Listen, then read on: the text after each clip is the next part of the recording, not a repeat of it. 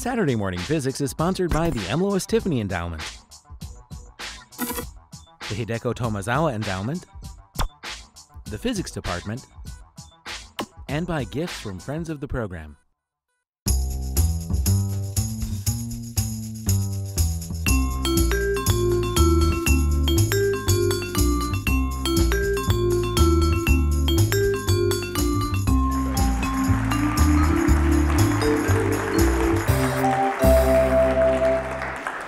Good morning. I'm really dazzled to see so many people interested in physics at 9:30 in the morning on a Saturday. Let's see if we can turn down some of those. So I'm, my title is a little bit um, counterintuitive. Usually plastics are thought to be something that's destroying the planet. So today I'm going to talk about maybe a different side to them. So what I'm going to spend the first part of my talk about is where we sit in the energy world, um, particularly with renewable energy and what sort of role it can actually play in replacing carbon-based fuels.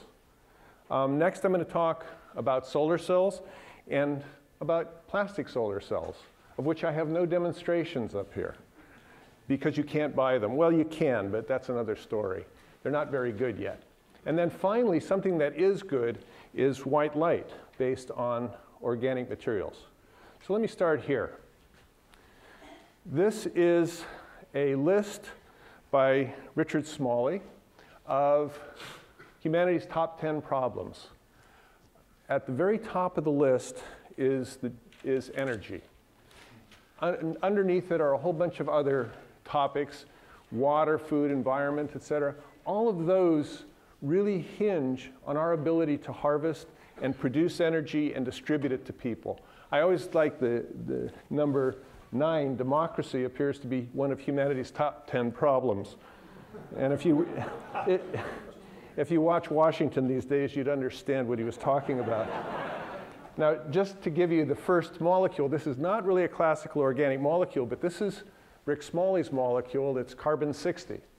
And what you see are those, those lines are the bonds between the atoms, which are just carbon, and uh, they're 60 carbon atoms and nothing more. This is a very important material for solar energy harvesting. It's also known, if you, if you look at this, um, it's called Buckminster fullerene. It's also called soccer ballium. okay, so now let's think about the world and who we are and our place in it. So this is the world map of the world scaled to population by country. This is a, um, a U of M prof professor, uh, Mark Newman, has an algorithm where he was actually trying to predict red and blue states uh, and election trends by mapping the size of counties, et cetera, that were red and blue. And of course, we all look purple in the end. But he can do this, he can apply this to any property or any demographic. And here he just shows the world. And you can see, not surprisingly, China and India have the largest populations. The US is about one-sixth of the world's population. Now keep this map in mind. Okay, just get it in your, in your head. And here's scaled by energy consumption by country. and the US looks like it, it you know, was inflated a bit. Uh, pardon me? It needs a diet, right? Yeah, it could use a diet, I suppose. Um, but you know, there's other countries that are coming up in the world, and that's China.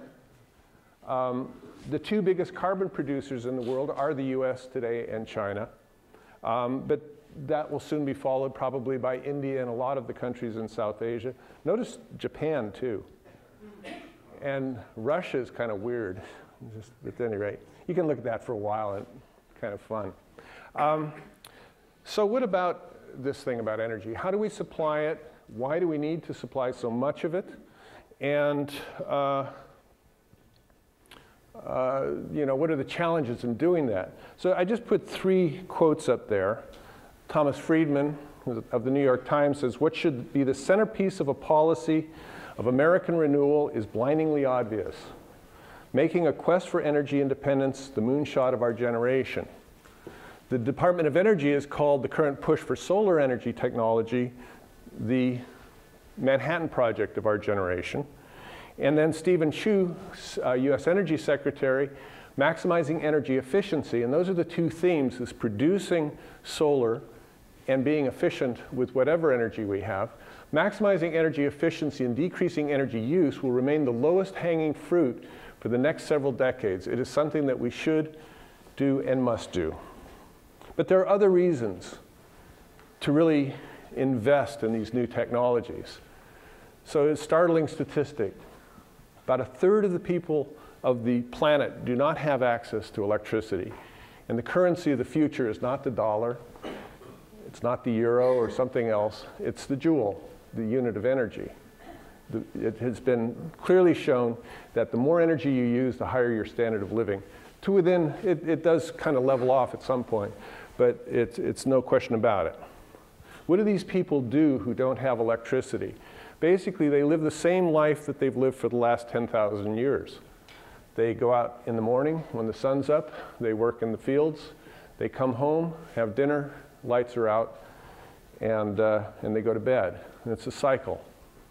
Now, of course, a lot of people replace uh, electric light with kerosene light. Kerosene light causes enormous amounts of carbon and particulates in the air. It causes worldwide epidemics of emphysema. You put an LED with a little battery behind it and a solar panel, and you bring light into the home, and you can see exactly what happens. Humans are curious, and that breaks that 10,000 year cycle. So, a lot of people talk about the fact that we're running out of oil. We're not running out of oil. We've got as much oil as we're ever realistically going to need because we can get it from coal, we can get it from gas. Um, these, this is the reserves and the resource base. 2,000 years of coal, for example. There's plenty of fossil fuel to go around for us, for the really imaginable future, and the fact that you know, this is probably not even all found yet. We're always finding more. But the Stone Age didn't end because we ran out of stones. and the fact of the matter is, the reason we need to move away from a fossil fuel economy is twofold. One is clearly national security, or really the security of our standard of living. We're right now buying oil and those sorts of uh, products from places that are not particularly friendly and care about our future. And of course, if we don't get it from them, we will take it from them. If we take it from them, we have wars. Um, the other thing, of course, is the amount of carbon we're putting into the atmosphere. It's changing our planet on a daily basis. So here's a, a Michigan kid. He started in uh, Port Huron Thomas Edison. That was where his first lab was. And then he moved to Menlo Park, New Jersey. Um, I'm sort of taking a reverse track. I spent uh, 20 years of my life in New Jersey, and now I'm back here. But in about 30 years before the invention of the solar cell, he said in his nice 19th century twang, I'd put my money on the sun and solar energy. What a source of power. I hope we don't have to wait till oil and coal run out before we tackle that. In fact, about 30 or 40 years before this, Arrhenius, who's famous for um, describing chemical reactions, predicted that the amount of carbon that was going into the atmosphere from the Industrial Revolution was going to acidify the ocean in about 100 years. Turned out to be right. Solar energy, clean, abundant, and renewable. This is another uh, thing to think about. Uh, how many here? How many people here know who Willie Sutton is? or was. So he was the bank robber, right? And he said, uh, he was asked, allegedly, I don't know if it's true, why do you rob banks? He said, that's where the money is. So why do we go for solar? That's where the energy is. the, on, falling on the surface of the earth every 20 minutes is enough energy to power all of mankind's needs for a year. So if you made solar cells today, as we make them out of silicon or whatever, and you scatter them in the temperate regions of the Earth, 120 mile wide boxes, um, you would generate enough energy, 20 terawatts, to satisfy all of mankind's needs. That's all it takes. So let's just do our bit. the US. But this is the problem. I, I, forgot to tell you this. It's clean, abundant, and renewable, but it's also expensive. So I'll get to that point. This is why we don't do it. But let's get to the US. So that's what the solar panel need in the US is to supply all of our needs. And of course, it's over the Dust Bowl, so nobody really cares, right? but what if we put all those solar panels around here? We'd have a different feel about it. Actually, it's not entirely crazy.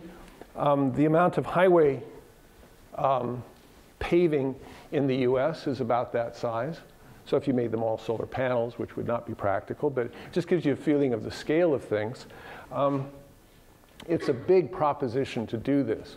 But we don't have to do 100%, we just have to do a little to really make a difference. so now I'm going to give you the, the real downside of the whole picture. This is where renewable energy fails, its cost. We're fighting a distribution system for fossil fuel and a pricing scheme that has existed now for over 100 years. And so the cost per kilowatt hour of solar is, well, excuse me, it's about uh, five times, uh, three times to five times more. So this is, it's too expensive because people, of course, don't want to have their heating bills to go up by a factor of five or six or whatever it takes. And because of that, this is how much renewable energy. The sum total of renewables, including wind and everything else, and if you notice from the last few graphs, wind is looking pretty good. The things that, that's crushing renewables today, by the way, is the cost of gas. It has absolutely plummeted because they keep finding more and more reserves in North America. But here you can see that renewables are a very small amount. So what is this done economically? So this is going to lead me into why we want to use plastics. Thanks.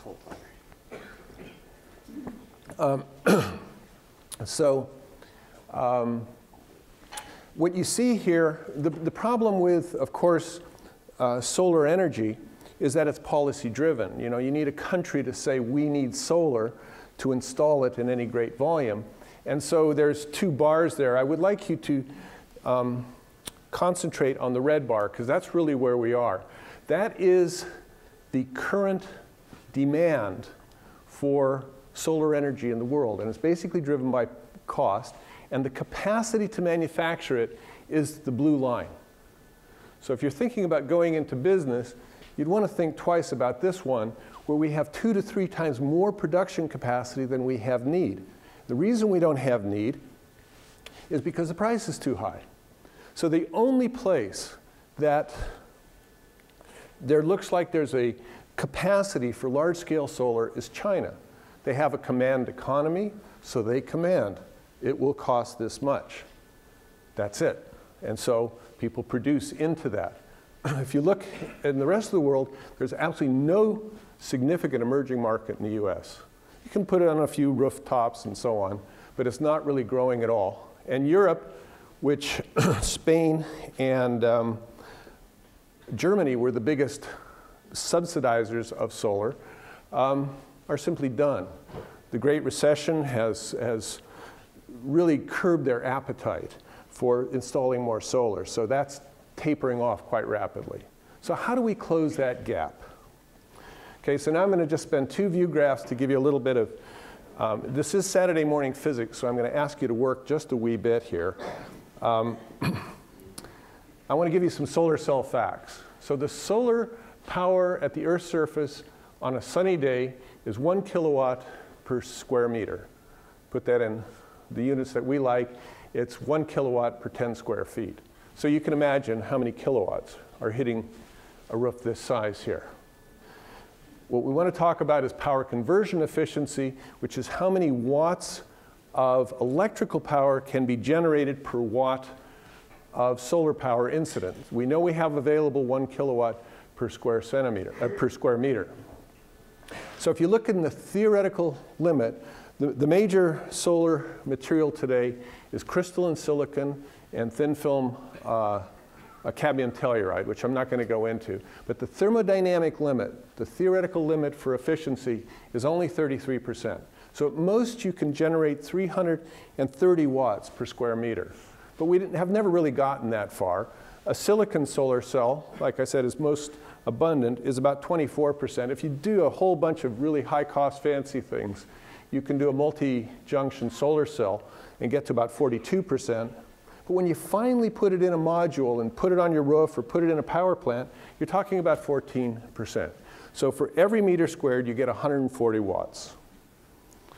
Um, very briefly, uh, power is simply current times voltage, and the power conversion efficiency has to do with this current versus voltage curve that I show in the upper right, um, where that's what a, a, diode characteristic looks like.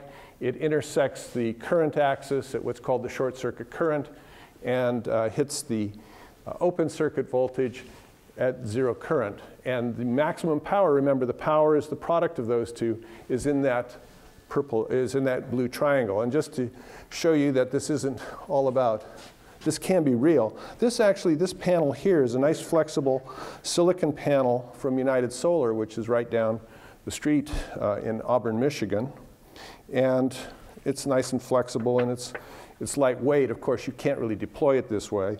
And uh, so, you know, you'll do that for a long time. And then when the sun goes down, it does that. So we also have to have batteries.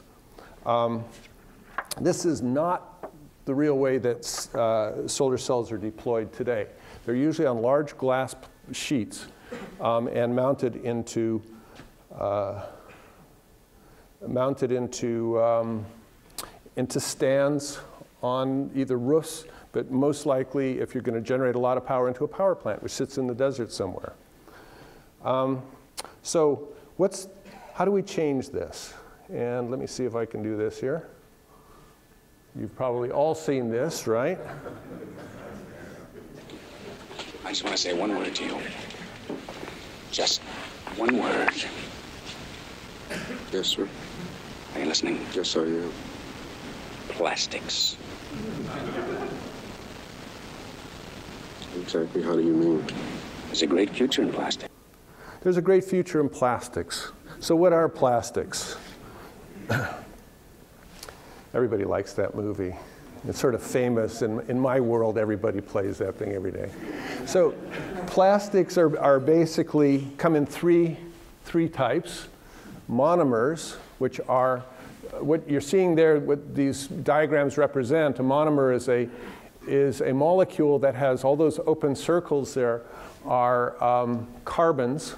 There might be some oxygens in there. The little, um, you can see from above, that's the same representation. It's got some nitrogen surrounding it. This is an, what's called a porphyrin.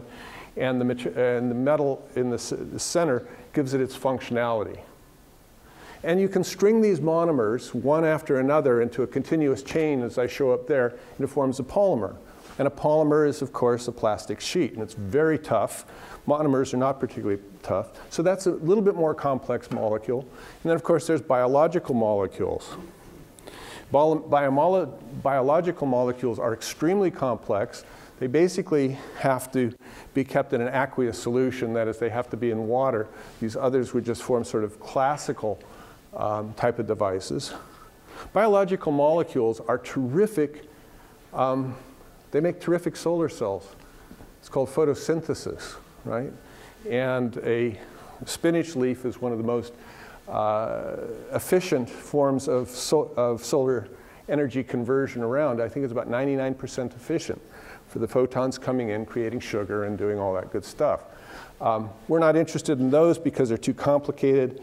Uh, so we're going to really stick with monomers and polymers. So let me talk a little bit more about organic molecules. They're cheap, which is why we might be able to change the cost curve here a bit. They're easy to process. They're compatible with flexible substrates. So although this is kind of flexible, it's on a stainless steel sheet, it's actually pretty stiff. You can roll this stuff right up. Um, tunable material properties, you can make them any color. So for example, most of you are wearing materials with synthetic dyes. Those are all organic materials. Most of them are pretty good semiconductors. I worked for 15 years of my career on a material called PTCDA, and it's the main component of red car paint. So you can imagine how and it's a fabulous semiconductor, by the way. Um, you can imagine how cheap this stuff is. It has strong optical absorption, which is important. I want to show you, I don't know if we can get these downlights off, but um, you can see those are vials with organic molecules taken right out of my lab. And they also fluoresce beautifully, so they're going to make good light sources. So it's just a, you know, it's kind of dead, but now I'm putting ultraviolet light on them, and they glow. And you can get every color in the spectrum. So we can put those back on, thanks. And they have a lot of disadvantages. They can be high resistance, so it's like having a battery with a big resistor in front of it, which means it's going to get hot and not do any work. Low stability and reliability, and they have some patterning issues. And the way I like to say it is that all of the disadvantages of organics have been proven beyond a doubt, and none of the advantages have been. So we, that's why we do science, right? I mean, it's the fun part. But all right, so this is the big motivating curve, if you believe it, and there's no reason why you should believe it because it's never been proven. Um, the top, the black line has been proven. So this is the manufacturing cost per watt for the cumulative power production since the invention of the solar cell in 1954. We have, we have of all of the solar cells deployed out there, we have about 14 to 16 gigawatts of power that is being generated by the sun uh, into electricity. So gigawatts, that sounds like a, a big number. It's a billion watts. But let me put this in scale. A coal burning plant is two gigawatts, round numbers. Nuclear plant, about one and a half gigawatts. In China, every, uh, two two gigawatt plants are commissioned every week, coal burners. So say, well, how are we ever going to catch up with that? Well, we got to get the cost down. Uh, today, the actual installed and operational cost of solar energy is somewhere around uh, two to three dollars per watt. Most of that has been really pushed down in the last couple of years. So we're still about three times higher than fossil fuel. If you can get this stuff really deployed on plastic, well, you might be able to change that. So the way the whole thing works in a plastic um, material is you don't create, what you need to create is, is an electron and a positive charge with the incident photon. So what you just saw coming in into a molecule is a photon, and that excites a uh, electron from the ground to the excited state, and then there's a molecule next to it, and it migrates.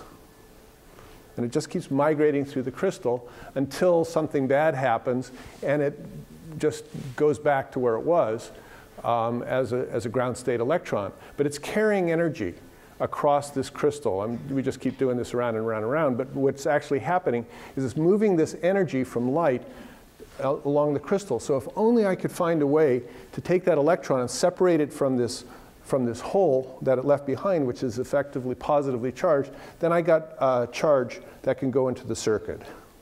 And without going into gross detail on this, I just want to show you how that's done.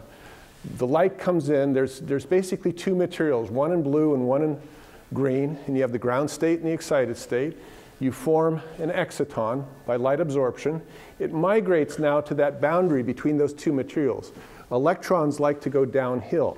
So when you get to the third quadrant over here, it drops down into this, in this charge transfer reaction, and then you get the free electron in the hole, which is again effectively positive charge. They go out into the circuit and do work.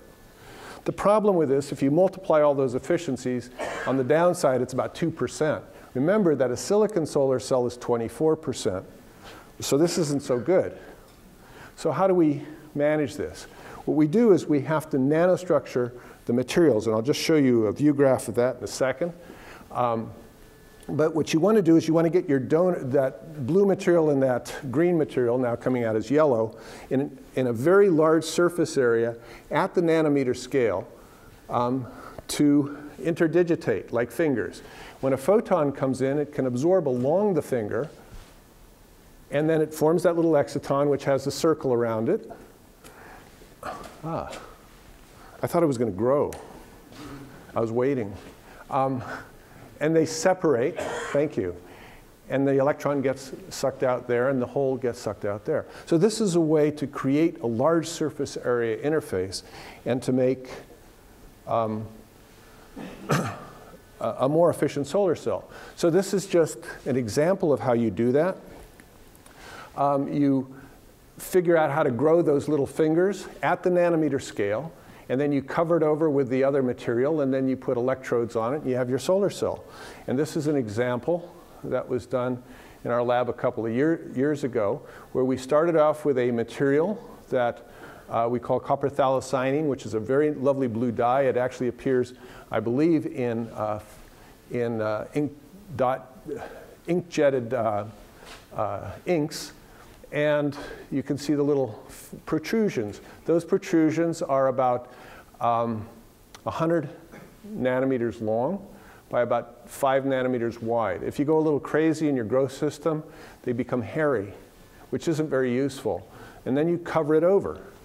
And just to give you an example of how that works, again, it's not 24%. Um, here's a 1% solar cell done the old fashioned way by just mixing the materials up and heating them and hoping something good comes out of it. But you get a lot of islands and cul-de-sacs for the charge to come out. Here in this controlled uh, bulk heterojunction, you can see that we've got uh, twice as high the efficiency, or even more than twice as high. So, without going into gory detail about all the various exciting science that you can do to create those bulk heterojunctions at the materials level, this kind of gives you a progress chart for where organics are today. They're sitting at about 6 to 7% efficiency. Now, to make a business out of solar, you don't have to get up to the 24%. Um, a good landing zone is somewhere between 10 and 12%. This is amorphous silicon. This is being deployed very widely. As a matter of fact, this particular material here is amorphous silicon, or nano, it's called what's called nanocrystalline silicon, and it's basically topped out at about 10%, maybe 11%. So we're climbing up that. We don't know where the ceiling is, but it's probably somewhere around 15 or 20%. It's hard to predict. The physics of these materials is very, very uh, deep. It's very rich, which is another way a physicist says, I don't know what's going on. so in this case, it's kind of semi-rich. In crystalline silicon, we know what's going on. So we don't really know how to predict what the ultimate efficiency will be, but it'll probably be pretty high. So there, if we can do this and we can do it cheaply, and I'll show you at the end how we can do it cheaply, we might have a, we might have a shot. So let me talk about the second topic. I think if you've seen, if I've tried to get one message across to you on solar, is it's a very, very heavy lift to change the equation of how we expend energy. It will be there, it will grow, but don't expect it to take to even hit 10% of our total energy generation needs in 20 years. The reason for that is cost, and the reason for that is the size of deployment and the complexity. But the main region, reason is, is that we're, we are embedded in a fossil fuel economy. And again, two fossil fuel burning plants, kind of the most dirty fossil fuel burning plants, uh, coal, are being commissioned every week in China. And that's just China. So if you want to catch up with that, you have to be generating um, at least four gigawatts a week. Well, we've done 14 gigawatts since 1954. Actually, most of that was, in all fairness, was done in the last two to three years. Um, just a little fact about solar to bring it a little bit home in the top, I, I talked about where the markets were.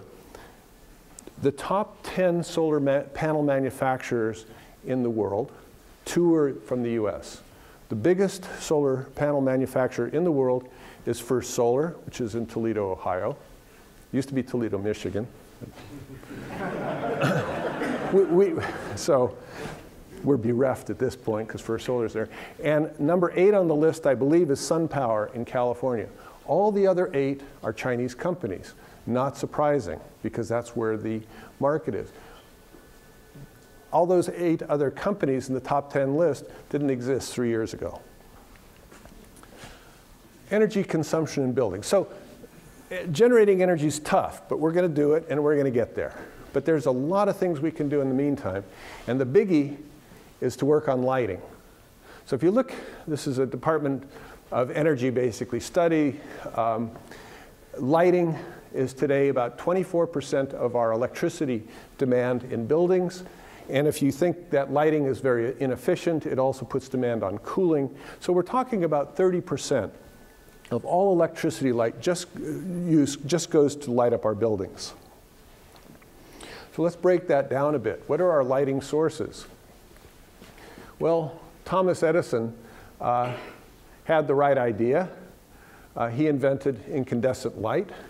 They said if you can buy them in the supermarket today, a 100 watt bulb puts out about 1500 lumens of light, so it's about 15 lumens per watt. That's its efficiency. It's how much light you get per watt of electricity. Kind of the same thing, the opposite thing of a solar cell.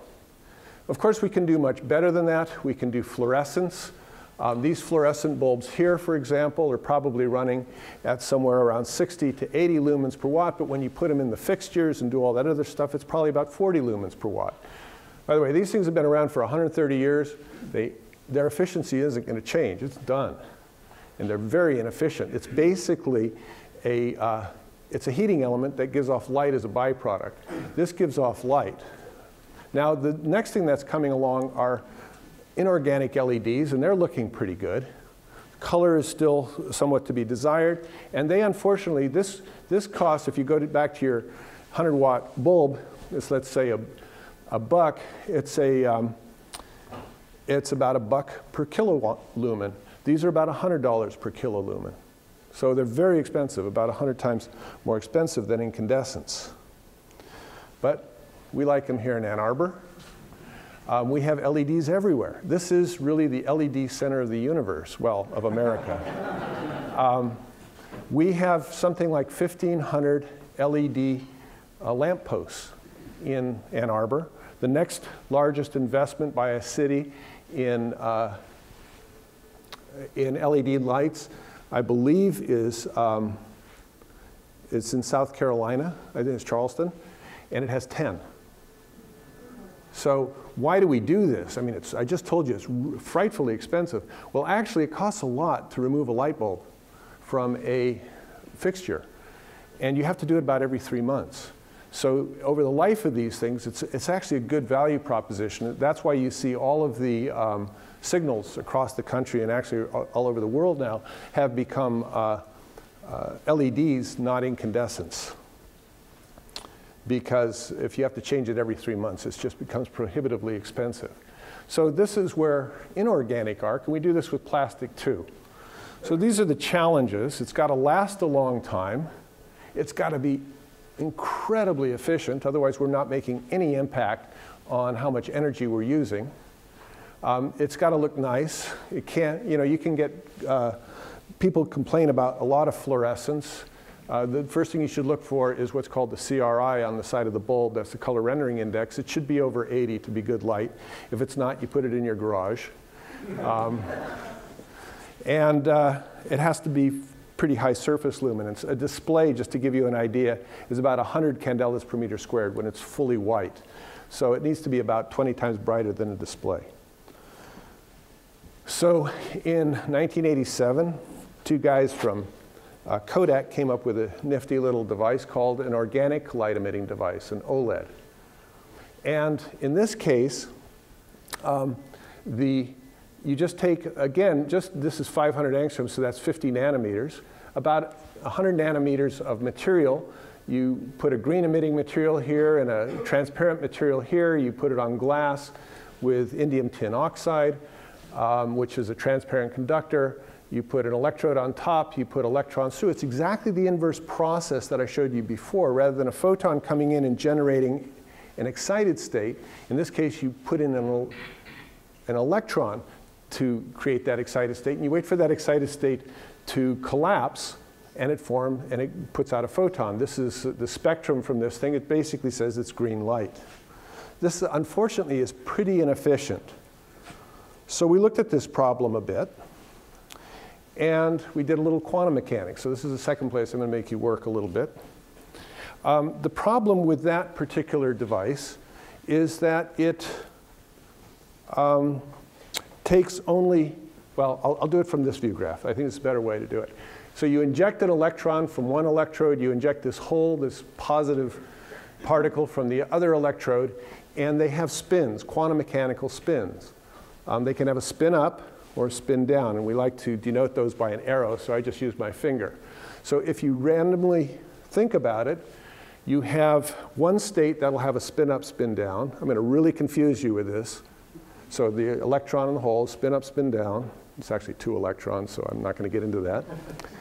Um, but I could also have them spin up, spin up, because it's random. They could be spin down, spin down. And they could also be spin up, spin down, but with a positive sign between them, and it goes on and on. But the fact of the matter is, is that three quarters of the uh, injected electrons of that last device are wasted because they go into what's called this uh, spin symmetric state, like the spin up, spin up, or the spin down, spin down. And those do not luminesce. They actually give off something called phosphorescence. We know it, it's on our watch dials and so on. It takes forever and it's very inefficient. The devices of Tang just took the spin up, spin down combination, and that is very fast and it gives rise to fluorescence. But we're still throwing away all this energy. So what we did is we used molecules that were luminescent that had a heavy metal atom in the center. So it's all carbons and hydrogens and that sort of stuff around it. But in the center is a heavy metal. And that heavy metal changes all these spin symmetric states to spin antisymmetric states. And they relax very quickly. So we get 100% of the light out. And when we do that, we get all the colors of the rainbow just by changing subtle things about the molecules. So this is what's called the chromaticity diagram. It's a way that scientists have of quantifying your vision. You can mix various colors and you see something else by eye. And these are actually the emission patterns of OLEDs um, that are phosphorescent, all about 100% efficient, uh, all across the spectrum. And if you want to make white, we all know that you mix red, green, and blue, and you get your whites. And these are just examples of white OLEDs. And I'll show you some really lovely pictures of that. So what can we do with OLEDs? Well, we can make white light, but we can also make, uh, let's see if I can get this thing to work. We can also make displays. I've actually got a display up here, which is an OLED TV um, from Sony. And you can see it after this um, lecture, but it's really beautiful. It also will cost you $2,500. Um, so it's, oh, this is, by the way, this is the solar car video, so I'll mute it. It's a great story, but uh, you can, I just see if I can just show you, you can see the kind of, oh, by the way, look at how narrow it is. It's like three millimeters thick. Everybody wants one, let's face it. I couldn't afford it, but I have a really good friend, and one day I come into my office here and in Fleming Hall, and there it was sitting in a box. My wife will not let me take this to the lab and set it up there because she likes it too much. Um, so, but, so it's, it's narrow, it's three millimeters thick. You can put it on plastic so it can roll out like that display. And then here's a, that's a very early flexible display. Now they're full color. And that's a craft advertisement by the company who did that. Um, you can see that these things are really beautiful. And they're now appearing. These things are, will be, they're coming out in the Google phone and the Microsoft phone, and they're scheduled to come out, I believe, in the uh, iPhone uh, fairly soon. When you see them, you fall in love with them. It's, you know, something about looking at pretty things. Um, it's like candy. Uh, so we can also, of course, make, uh, uh, make white light, and that's what I'm going to talk about. Um, this is where we are in the white light business. It's looking really good. The DOE target for uh, 2015 is to have 150 lumens per watt. Remember that what I showed you before uh, was a uh, incandescence at 15 lumens per watt. This is 10 times more efficient. 10 times more efficient for something that is occupying around 30% of our electricity demand has a huge effect on the number, uh, on the amount of energy that we need and therefore need to deploy. And this is just where we are now at about 100 lumens per watt. It looks pretty good. Um, and it's moving very, very fast. I would predict that probably within the next year we'll be pretty close to hitting the DOE target. And this uses this process of phosphorescence, or electrophosphorescence as we call it, and getting all the light out of the glass. And there's a lot of engineering pieces to it. But it's really, uh, it's really quite an attractive technology, as you can see here. This is the lighting panels of the future. Um, you might notice that these are all done in the, uh, in the dark, but they're actually quite bright. And you can buy, uh, you can buy some very expensive specialty fixtures today with it. There's still an issue with lifetime. Um, lasts, the, the blue component of this light lasts probably on the order of uh, uh 10,000 hours. 10,000 hours is a year of continuous use but we'd like it to be 20,000 hours.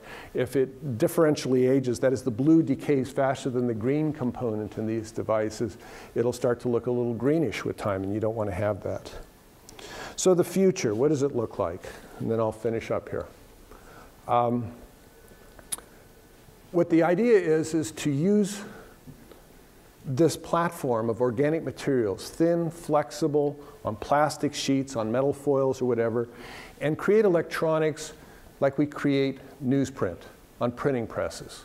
Doing it quickly, um, doing it extremely cheaply. I don't know how much a, a, page of newsprint costs, but it's significantly less than a, a penny. So we can do this um, eventually. We can't do it now. There's a lot of people who are playing around with this. This just shows some circuitry um, done by uh, Penn State, I showed you this very early, that was about a 10 year old, by the way, flexible display uh, using organics. And if we can do that, then we can make solar panels at large scale and extremely inexpensive, and we can actually pound down the price of this expensive lighting. So this is where I want to end up. Um, you know, if you, if you think about what I said over the last 40 or some odd minutes, um, it would seem like the sky is falling. We'll never catch up with coal. There's an infinite amount of coal. We're stuck. We're, we're addicted to this stuff. Um, yes, that's true. But there are also numerous solutions to this. And I've shown you one class of solutions. Clearly, uh, conventional semiconductors and a whole bunch of other technologies will also play a role. But climate change and energy security make our search for solutions imperative. It is simply not an option anymore. I think we've certainly learned that in the last decade what the real cost of oil is. Organics will play a role. The lighting sources are already finding small markets. Clearly, it's being led by, by displays, but that's just the leading edge of it. Organic photovoltaics have much further to go, but there is good potential. So we have to work out a lot of these physics problems. This has been, you know, I haven't shown you a whole lot of physics today, but I wanted to give you a sense of the type of things we're doing. We're doing things at the nanoscale. We are manipulating materials properties right from their composition to how we put them down. But no matter what technology we choose, policy, behavior, and vested interest are the real showstoppers. Behavior, why do we drive Hummers rather than Priuses? Why don't we use uh, miniature fluorescence when they cost less than incandescents? Is, are we really upset because there's a tenth of a second delay between the time you turn on the switch and you see the light? Um, I have a house in, uh, in Vermont which is completely off grid, so I have to supply my energy with solar, and I have a backup generator because it snows in Vermont and sometimes we get seven feet. And my panels sit on the roof, and one of the locals there said I put them on the roof to get them closer to the sun. Um, I, I made every mistake in the books. But in that house, just an average sort of house, about 2,000 square feet, I took out every incandescent bulb because I wanted to be careful with it, with my energy use. and I put in miniature fluorescence. Um, I took out about 150 light bulbs. Look around your house. Figure out how much money you are spending every month. If you turned on every light bulb and just left it on um, in your house, which is uh, not advisable, but um, in an average American house, that's about $350 of electricity bill per month.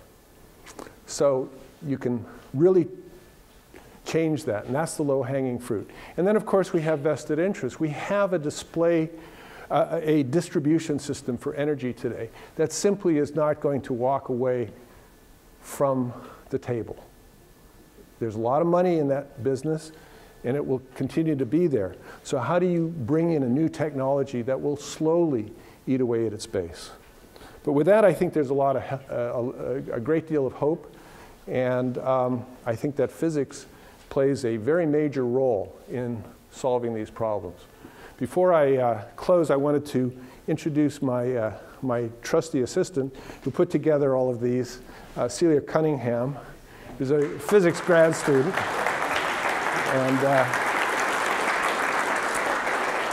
she, she actually works on these things. I think solar energy, as I recall last.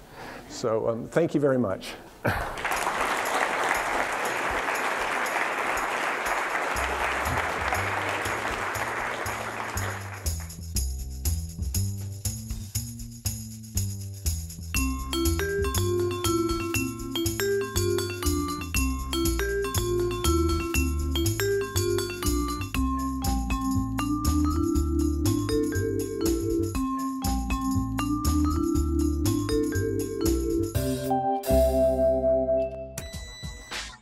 Saturday Morning Physics is sponsored by the M. Lois Tiffany Endowment, the Hideko Tomozawa Endowment, the Physics Department, and by gifts from friends of the program.